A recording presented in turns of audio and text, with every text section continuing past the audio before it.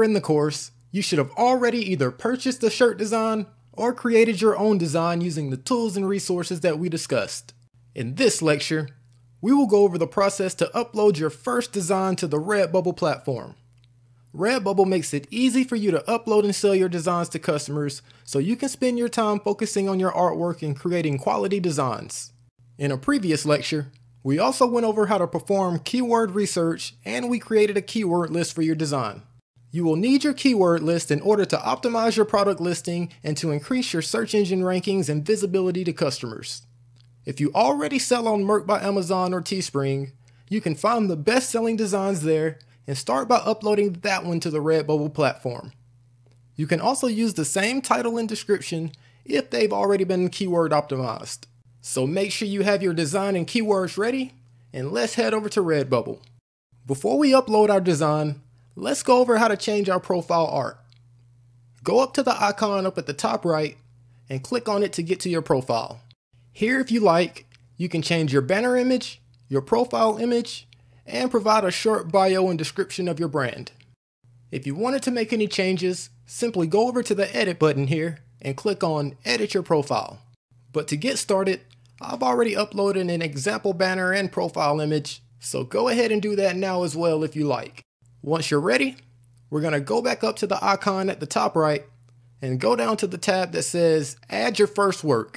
So here's the page you can come to to upload your designs to the Redbubble platform. If you scroll down, they also have a section where you can add a new calendar and a new written work as well. But since this course is focused on t-shirts, let's stick with normal designs. So to upload your design, go ahead and click on the box in the center. Find and open the design that you wish to add to the Redbubble platform. It may take a second to upload and upload complete.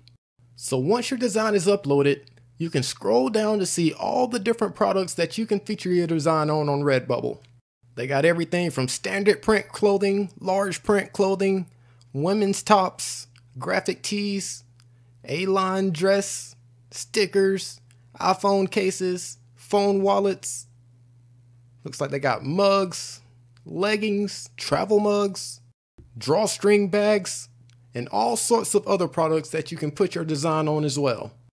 If you keep scrolling down, you should get to a section where you can add in your title, a description of your design, and your product tags. This is the section where you're gonna need your keyword list. Go ahead and get your keyword list out and fill out your title and description and also fill in some relevant tags as well. Using good keywords in all three of these areas will help increase your search engine rankings and improve your listing optimization. You can have up to 50 different tags and you need to separate these by commas. Try to use as many of these as you can with relevant keywords. Once you're finished, you can scroll down and they have a section where you can add other languages as well, but all I know is English, so let's keep scrolling. If you go over to default view, you can click the drop down menu and select which product you want to show as default. Since this course is about starting a t-shirt business, I'm going to select men's premium t-shirts.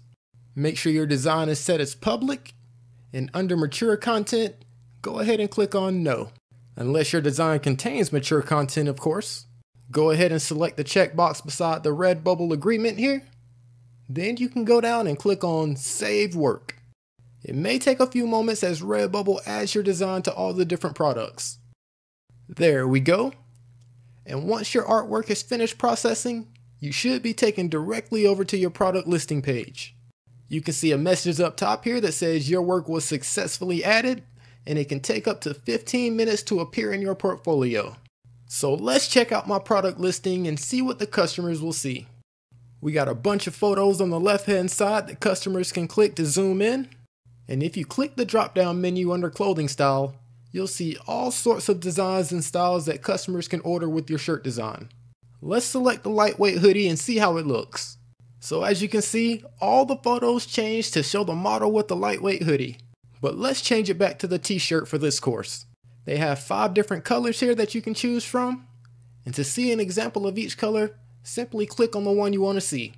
There are also six sizes customers can choose from, ranging from small to 3XL.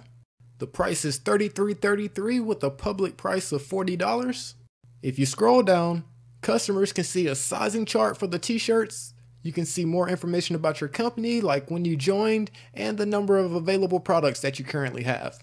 If you wanted to edit your product listing, go up to right up under the title and click on Edit.